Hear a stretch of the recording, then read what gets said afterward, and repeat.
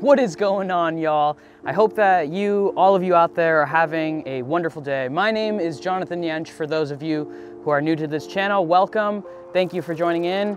Thank all of you guys for tuning in to yet another video. Now, as you guys see behind me, this is not the truck camper that you're used to seeing in the last few videos. I have been working on renovating a vintage truck camper. If you guys aren't already aware, I've been posting quite a lot of videos about that in the past. So the purpose of this video is I basically wanna show you guys my kind of last minute setup that I threw together. I have been truck slash, not really truck camping, I've been car camping for a few years now, so I kind of have a good idea of what is essential, what you're going to need while you're out there on the road, and how to set things up in a way that is gonna be conducive for you to enjoy your time and be able to stay organized as much as possible, etc., etc. So I did throw this together very last minute and it is a pretty minimalist setup. I know that there's a lot cooler build outs where people actually use like carpentry skills and they build like cabinets and drawers and all that fun stuff, but mine is not that. Mine is very bare bones, so I just wanna describe that to you guys so you guys could get an idea of maybe what you can do if you're kind of either on a budget or you wanna test the waters to see if this is something you want to continue doing before you dive head in and build some crazy cool build out in your rig, or maybe you just would rather have a very minimalist, easy, and low maintenance setup like the one that I'm going to show you guys today. So Whatever your reason for tuning into this video, thank you again, and let's just jump in and I'll show you guys a little bit around. Now, I would first like to start off by talking about the truck itself. It is a year 2000 Toyota Tacoma. It's the V6 3.4 liter 5VZ-FE engine for those of you who are curious. It does have 250,000 miles and yes, that definitely sounds like a lot, but these engines are known to be bulletproof and they go to like 400,000 apparently. At least I'm hoping. The shell, it's just a used beat up high top shell that I found on Craigslist. Luckily, it was specifically made for this truck and no bells or whistles. If you're if if you know anything about these shells, you know that they could cost upwards of like $2,000 if you were to go get one new from like one of the truck shell manufacturers. But this one I got for about 350 bucks, which in my opinion is a steal. Yeah, that's pretty much everything about the truck. I don't know what else to say, so I guess I'll just jump on in and start showing you guys how I have it set up for camping. Oh, I did forget to mention that the Tacoma is four-wheel drive, obviously. Why have a truck if you're not gonna have four-wheel drive, right? Shots fired. First of all, I have my very basic sleeping platform. There are no drawers like some of the other cooler builds you see. Underneath, instead, I just have a couple of plastic tubs. I'll show you what's exactly in those tubs a little bit later. And originally, I was actually going to just sleep in the bed of the truck, but I am going into some wintry conditions. And if I were to sleep directly on the bed of the truck, even with my insulated sleeping pad, it would be freezing cold. So instead, I opted to use this sleeping platform and utilize the extra space underneath it. And on top of that, I have my Thermarest Z-Lite Sol sleeping pad. I am going to use my small little memory foam mattress topper pad that I got at Home Depot as well. I just forgot it back where I'm sleeping, so it's not in this shot. On top of that, we have my zero degree Never Summer sleeping bag made by Marmot. It's extremely warm and like I said, it's going to be extremely cold where I'm going, so that's why I'm opting for the thicker sleeping bag. I'll probably add some extra blankets as well. Now, tucked over here, if I could get it out, I have this cool little brand new buddy heater that I just got. Apparently it is indoor safe. I see a lot of people on YouTube using them for camping, truck camping, ice fishing, all that kind of stuff in like really cold temperatures. So I'm hoping that it will keep me safe and warm in this blizzard that I'm about to go camping in. It runs off of propane, the little Coleman green canisters of propane. You guys have all seen them. And what's cool about that is I also have a Coleman stove that runs on those. So I could just power both my heater and the Coleman two burner stove with the cans and this little guy just fits right over here and that's that. Now, since that is a propane burning heater, I do want to be safe. So I got a carbon monoxide alarm that I stuck up here on the truck shell. It's just Velcroed on.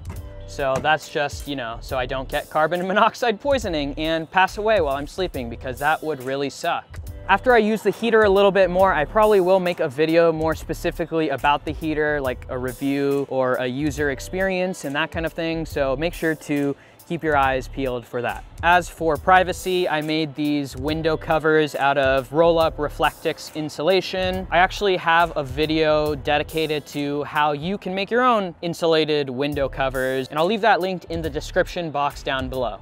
Now moving on to the right side of the truck shell, we have two storage bins. They hold a combination of camping gear, things like my tents, sleeping pads, backpacking pillows, extra fuel, my camping stove, all that fun stuff. Yeah, there's not much to say about that other than they are held in place by a tie down. So that way when I'm driving, things don't go flying everywhere. All right, so over here, over here we have my very cool brand new Jackery Explorer 1000. It is a portable power bank so that way I'm able to keep all my devices charged. I'm able to use this cool little light that I have rigged up here. And I just got it, it's brand new. I am going to be making a video about this device as well. That's gonna be coming out next week. So make sure to tune back in then if you're interested in watching that. But I have that tied down here with some bungee cords. That way this doesn't go flying around while I'm driving. But I'm super stoked to try this out. Haven't used it yet, but I think it's gonna be very, very beneficial to have while you're camping. So these are those plastic storage containers that I was talking about. In this one, I have things like, you know, this is actually basically just my camp kitchen. So I have pots, pans, knives, utensils, olive oil, salt, that kind of stuff. And over here in this one, I just have some random miscellaneous tools. I got some wipes, some tape, scissors, all kinds of just random little things, batteries, WD-40, eyeglasses, um, other random miscellaneous stuff like that that might come in useful. I do want to take a second to just point out this nifty little thing. This is a Snow Peak cutting board knife combination and it's extremely useful because it just folds right up and the knife is inside. Snow Peak makes phenomenal gear. You guys are probably already aware of that. Kind of on the pricey side. This surprisingly is really cheap for Snow Peak. And yeah, this thing is a saver because it really maximizes space and I think it's super cool. I'll leave links to all of this gear in the description if you're interested in checking those out. Okay, so that's pretty much the back of the truck itself. I do wanna quickly hop up front and show you guys what I have in the cab. It is worth seeing, I guess, right? I don't know. Let's just go check it out. The beautiful part of having the extra cab is not only do you have extra seats to squeeze people in if you really need to, and I mean squeeze because they're really tiny seats. Big people would not fit back there. Someone short like me, probably, but chances are a big person, no. But the main reason why,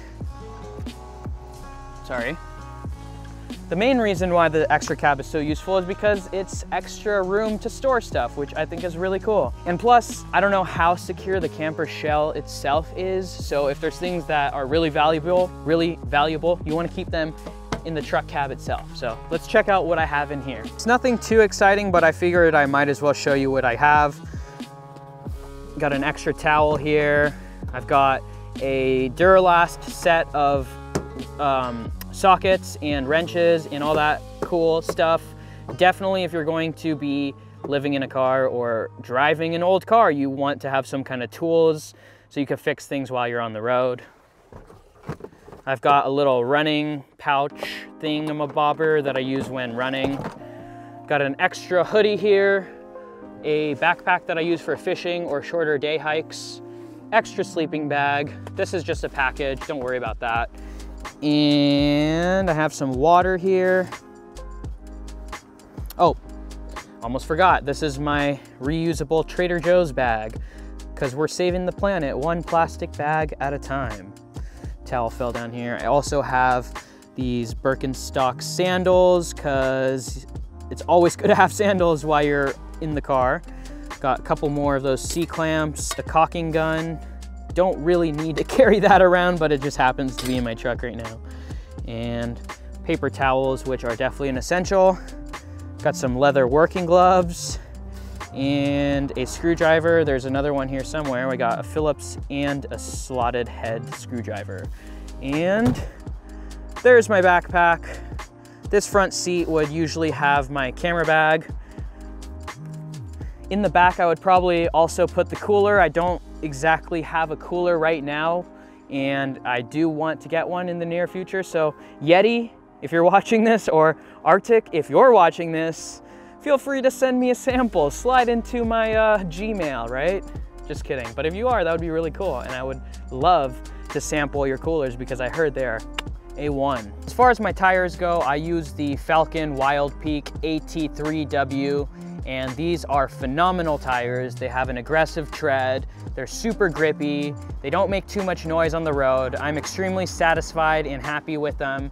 These ones are size 31 10.5 R15s. Okay, and that's gonna do it for this video. I I apologize if it was really rushed, if everything felt rushed. To be honest, it was extremely rushed, just like the truck build out itself. This is a very last minute video. I hope to get it edited tonight and then posted tomorrow. Like I said, this was just a quick overview of the last minute truck camper shell setup that I have going on right now. I probably will make some more videos, a little bit more detail, more in depth about some of the gear that I use, what I bring with me when I go camping and hiking and backpacking, all the gear that I use, that kind of fun stuff. So if you're interested in that, make sure to drop a comment down below and tell me exactly what kind of video you guys want to see. There will be links for all of this gear in the description box below. They will be affiliate links. So if you do buy anything using the link in the description box, I will get a little cut back and I would just really appreciate it because that would help support this channel and help me make more videos. Make sure to stay tuned. On Sunday, I'm gonna be posting a video about the blizzard truck camping that I'm going to be